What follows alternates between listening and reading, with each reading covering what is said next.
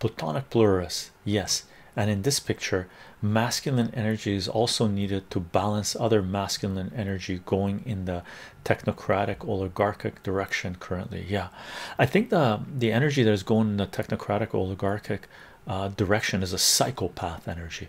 I don't think it's necessarily masculine or feminine. I think it's psychopaths that are doing this.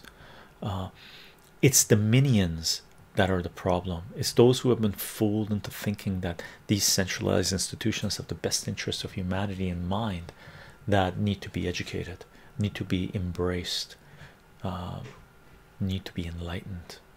Rendell, not saying this is what I believe, but I've read this a couple of times on the topic of masculinity and our current state. Hard times greater than hard men, greater than good times, greater than weak men. Oh, no, it's not greater than. So hard times leads to hard men, hard men leads to good times, good times leads to weak men, and weak men leads to repeat, which is hard time again. Right? Possibly. And uh, Randall I agree with the sentiment there that it is comfort that has brought us to this point right people uh, have become too complicit too comfortable in their own little worlds right? They don't want to lose their their their their their job. They don't want to lose their uh, their their social connections. They don't want to lose the opportunity to go to their favorite restaurant.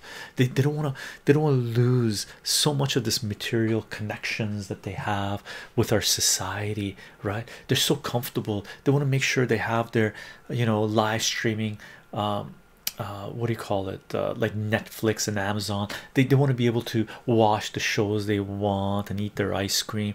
So they become comfortable. They've been sleeping on in uh, in Persian they say parago they've been sleeping on goose feathers for too long.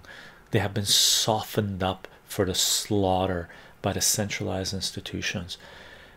We our society us individually have to start building a thick skin.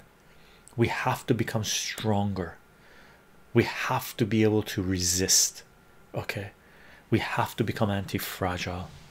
So Randall I, I agree with that in large part. I've seen a lot of people around me that talk the big talk but when it came down to it they folded like a fucking cheap lawn furniture right? Crazy crazy. Elder god masculinist pride power a badass mother who don't take no shit off of no one. I love it. Hilarious. Privilege mod privilege. Where are my vodka and strawberries at? I need a drink. Mine is sitting right here. The liqueur. Uh,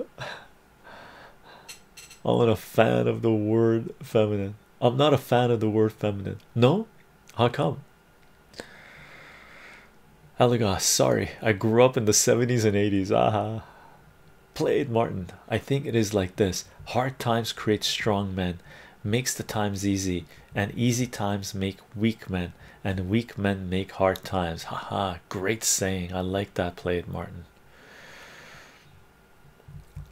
like